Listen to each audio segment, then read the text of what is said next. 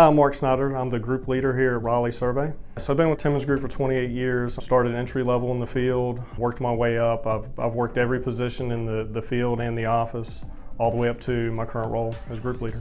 We have 10 to 11 survey and utility crews that uh, I manage daily.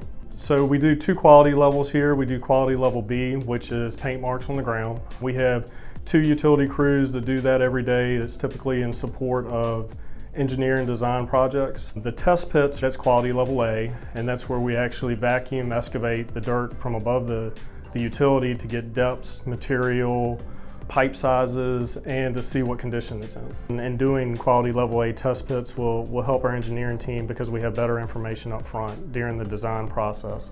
This could be pipe sizes for a water line. Um, it also could be conflicts to make sure if we're, we're cutting in a new entrance that we're not going through where a fiber optic line or something like that, or even a gas line that could be a, a dangerous situation. So knowing that information up front, the engineers here can design around it and hopefully not have the conflicts and delay, delays during construction. We've added to our fleet. We had a VacMaster 1000 trailer. We recently got a VacMaster 4000 truck, which is going to give us some more capabilities. It'll also allow us to take on larger projects. Adding to the fleet, we can actually run both units. In this region, there is a, the, the soils do vary. East of here, it's very sandy. Once you get into the Raleigh area, there's a lot of clay.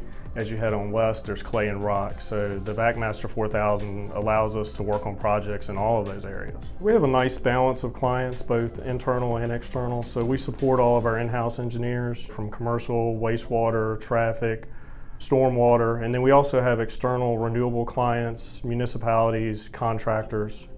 So we can do this type of work for all of them. I like we, that we can provide more information up front to, to make a better product, a better design plan. We're very excited to have the VacMaster 4000. We look forward to being able to support our clients in North Carolina, Virginia, and beyond.